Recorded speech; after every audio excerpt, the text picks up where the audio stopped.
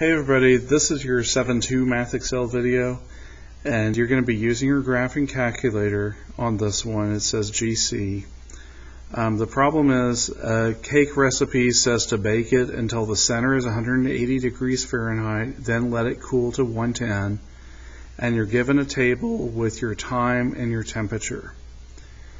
Uh, part A says you're given a room temperature of 68 degrees and you want to know what the exponential model is. Before you can do your exponential regression, you have to change these temperatures. So in my case, I have 68 degrees. Yours may say 70 or something else. And what you do is you take your temperature minus the other temperature, like 180 minus 68, and that gives you 112, and you have to do that the whole way down. Um, so you could use the spreadsheet feature in your calculator to do that um, by taking this column and just saying minus 68, or you could just do it manually, like type it in. Um, also, um, this one's going to have a horizontal asymptote at y equals 68 because that's your room temperature. In other words, it's not going to drop below that temperature. So what you're going to do is do menu statistics, stat calculations, exponential regression, not power regression like we did on um, square root functions. So this one you do 4 1a. So you do your exponential regression, then round it to three places. So um, this one you end up with 125.653 and then your decay factor is 0.856. So um, you raise that to the x power. It is expected this number should be less than 1 because you're cooling. In other words, you're having a smaller temperature. But when you notice about this one, this is not your y-intercept. It's not the 112. It's not the 180. And so it's like something's wrong with this. So all you do is um, adjust for your 68 degrees so you take the exact same equation and then put plus 68.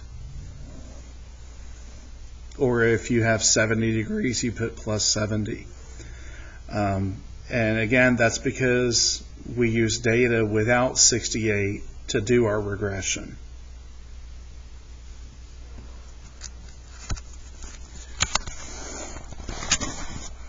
So um, I see now you can see that it was menu statistics, stat calculations, exponential regression for 1A.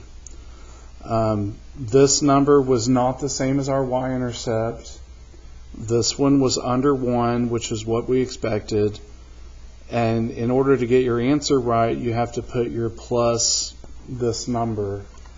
Um, in my case, it was 68 degrees. The next question says, um, for part B, how long does it take to cool to the desired temperature?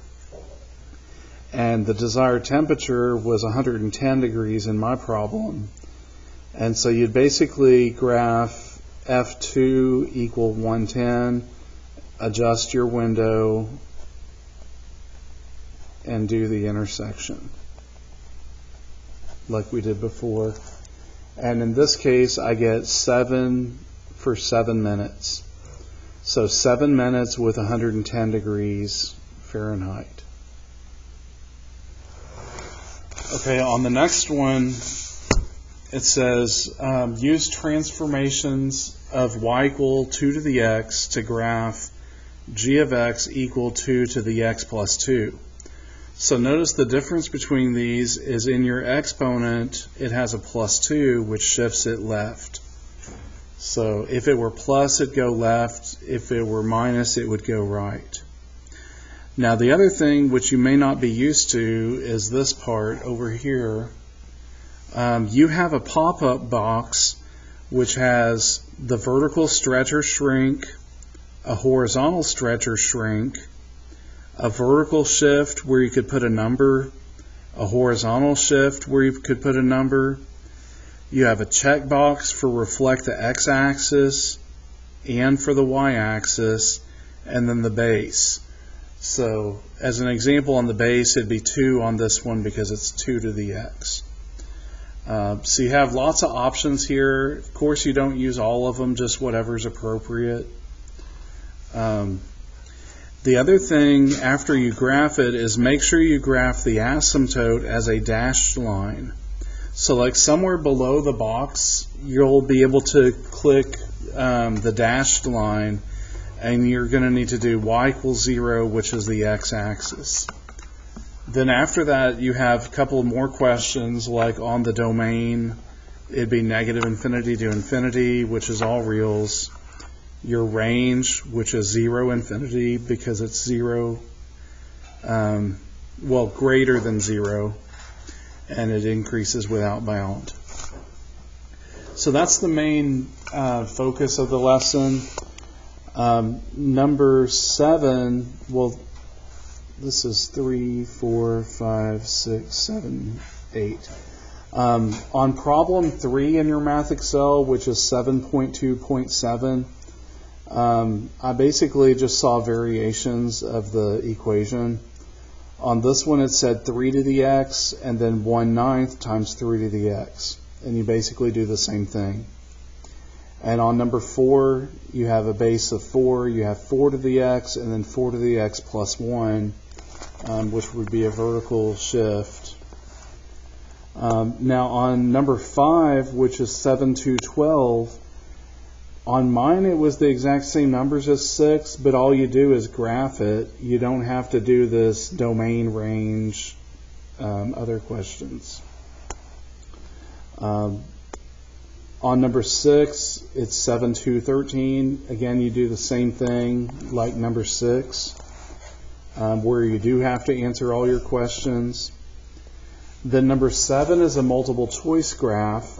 And so um, just one second.